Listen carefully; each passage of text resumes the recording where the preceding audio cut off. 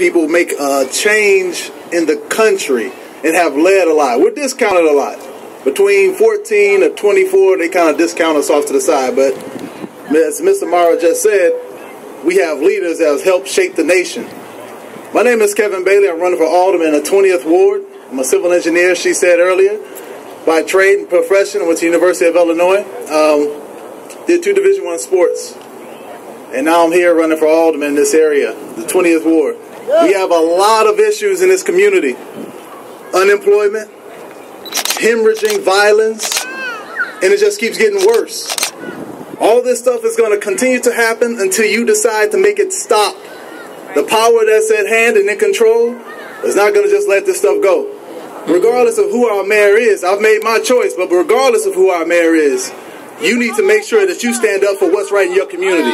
You need to make sure that your voice is heard and you tap your neighbor and get them involved and engaged in this process. Or else we're going to continue to see the blight that we have in our community, the crime, the violence, the deaths, and the closing schools that continue to cut our future shorter and shorter and shorter. This will all end when you step up. So this April 7th, step up, let your voice be heard, and get involved in the process. My name is Kevin Bailey, run for Alderman 20th Ward. Thank you very much. Thank you, Kevin Bailey. Uh, I'm going to be bringing up Bill Doc Walls in just a moment, but just understand this. When we uh, we're electing you, vote for who you want, we have a chance to change city council. But you have to make sure that when we do make that change, you don't elect somebody that you're going to celebritize. You elect somebody that's going to go serve. So that means you have to challenge them. You have to be critical and make sure that you are analyzing everything that they're voting on and that they understand what they're voting on. There is, you know, we want to get rid of a rubber stamp council. There are two things in council that you got to understand. There is divided votes, and there are those votes that are that, that are standard that you know, we for our garbage services and street repavements and all that sort of stuff that we want to support uh, the mayor on doing. But the divided votes is the wish list. Those are not necessarily things that we have to have, and those you need to make sure that the equity is there in our communities. All right, so whoever you elect, make sure that you're there to support and challenge to make sure that they're bringing the right resources back to our communities. Bill Doc Walls coming up right now. Now, my job is to bring up some of the community leaders who helped organize this and give them a minute and a half. And I do mean a minute and a half. We're running for the train at this point, but the bottom line is we want you to be seen, we want you to be heard. Let's start with Harold Davis. Harold Davis, would you come up? Harold Davis is a radio personality, but more importantly, he's a community organizer. He's on the Big Gospel Express, and he'll tell you a little bit about himself and what his mission is. Well, thank you, Doc. Uh, I'm on the uh, radio Tuesday through Friday, 2 p.m. to 4 p.m. Uh, WBGX 1570. And uh, it's not a lot to talk about, Doc. Well, I got something to talk about. It's uh, I got something. it's uh, it's economics. You know, no, no matter who you put in office, it's economics. Uh, in 1881, your school, Tuskegee, 1881. First 21 buildings were built by black teenagers. They had 21 building trades in Tuskegee in 1881. 18 and 19 year old black children built 21 buildings. And right now we can't even get a job. I mean, what was so powerful about what Booker T. Washington did in 1881? And we sitting here today in 2015 begging folks for jobs. I mean, Booker T. and George Washington Carver, George Watkins Carver, are the only two black people on money. They got a 50 cent piece. I don't know if y'all know that, but there's there's U.S. currency that has George George Watkins Carver and Booker T. Washington on it. And so we can sit there all day and, and talk about who we're going to elect. At the end of the day, we spend 1.2 trillion dollars with people that don't look like us. There's a there's a Korean shop that just opened up in the Best Buy on 89th and Lafayette, 46,000 square feet. And next door to him is his cousin with a 10,000 square feet store. And so we can talk all day about who we're going to elect, what we're going to do, how we're going to do it. But if somebody has 100% of your, 99% of your money and 100% of theirs, then you give your power to, you give your money to. And so we can keep talking and talking and talking. And I'm tired of talking. I mean, I talk four days a week, two hours a day. And, and I say the same thing over and over until we get a hold of the economics in our community. You, you, you have Koreans, uh, the American Clergy Leadership Council, that gives black preachers breakfasts once a month. And they pay the host pastor $7,000, and they have a policy that they don't give refunds, and the black clergy don't do nothing about it. And so, with just, will I close out? This is how I out. This is undisputed, untold, uncut, uncensored, unbought, unapologetic, straightforward, down the middle, butt naked truth. When we say the things most you're afraid to think about or dream about, we say liberation without continuation of the miseducation and misinformation to the black man and black woman.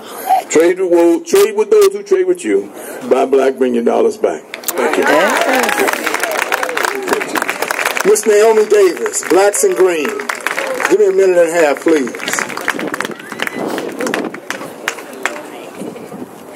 Greetings, cousins. How y'all doing today? Hi. Got some spring out here. Okay, Blacks in Green works at the intersection of environment and economy. And that means like, you know what, if you can't breathe, you ain't gonna be around here anyway. But if you're not increasing household income with your economic development, what the heck are you doing? So we create the concept of the eight principles of green village building is how we can have walk to work, walk to uh, walk to work, walk to shop, walk to learn, walk to play villages in our neighborhoods. Some of us have been around long enough to remember a time when it was like that. And within a lifetime, those neighborhoods have become extinct.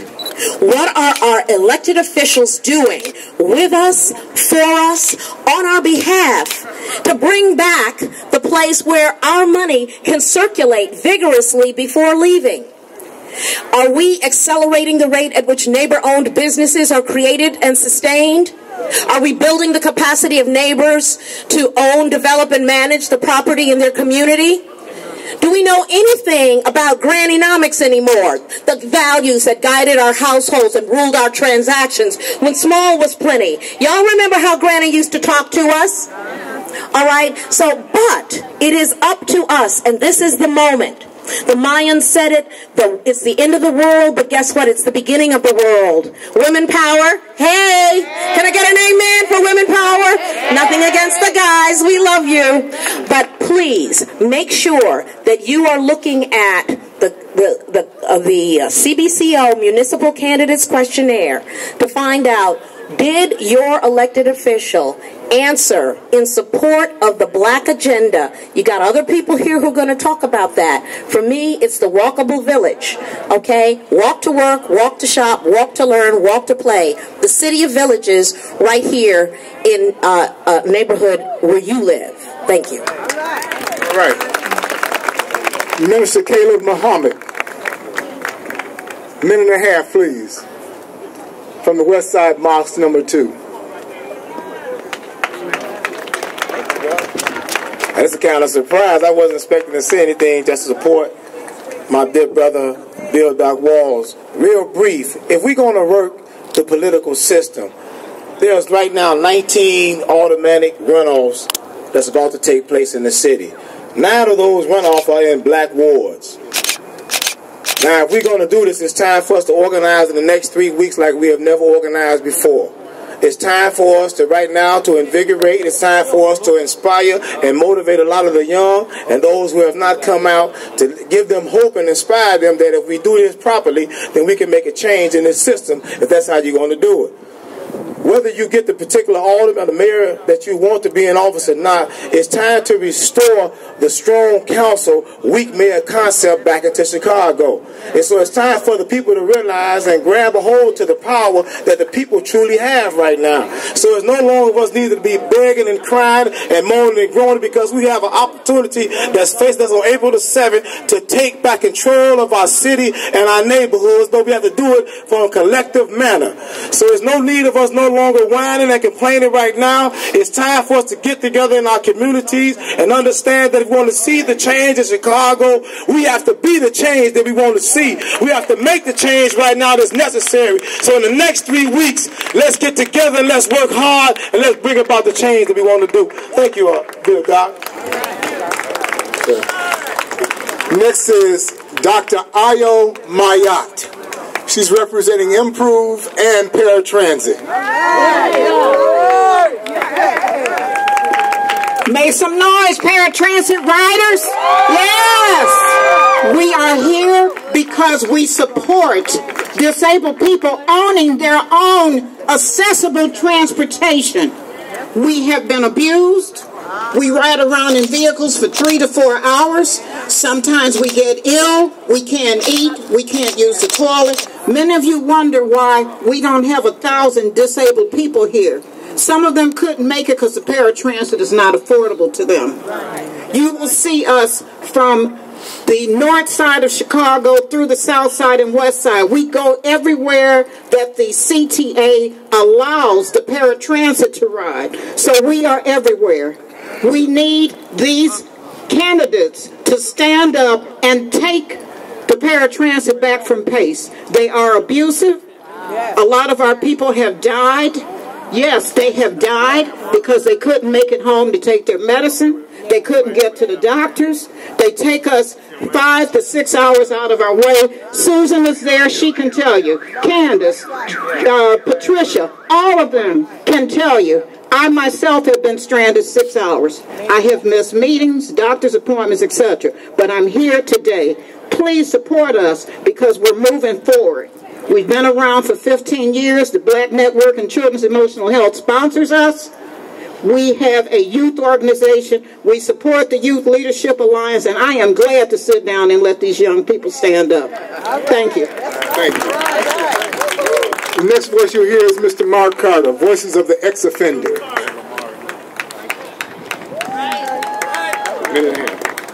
Good evening, good evening, black folks, and everybody else that came in to support. Let me say this to you all. We talk about a weak mayor and a strong council. Rahm is the most weak mayor that you can ever have right now. And I'm not saying go with Rahm or Chuy.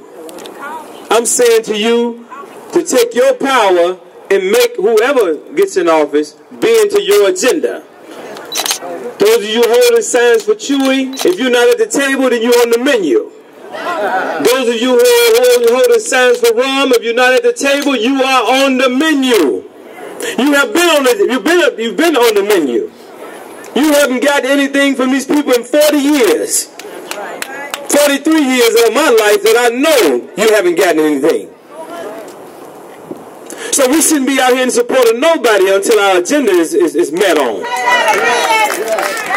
Rahm Emanuel took the laws and changed it where you have to pay $2,000 to get your car to the pound if they pull you over and, and, and impound your car. And no, you don't have to have drugs or alcohol in order for them to take it. Chuy has been around since Harold Washington died and haven't done a, nut. I almost cursed. haven't done a thing, y'all, for you. Stop running around talking about you with Chuy or with Rahm. You better be with the people.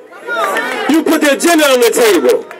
Rahm has a $1.3 billion five-year housing plan to put you out of this city, and the black elected official is in agreement with it. Every single one of them. Matter of fact, there is no black, white, or Hispanic politician. They're all the Democratic Party, and they got it in for you. And if we don't take it and we organize strong organizations from right here, this point, to make all of these elected officials do what we tell them to do because they are in position to take orders, not give them. We're going to get wiped out, you all. So when we leave here today, let's take social media But let's keep pumping this undecided message.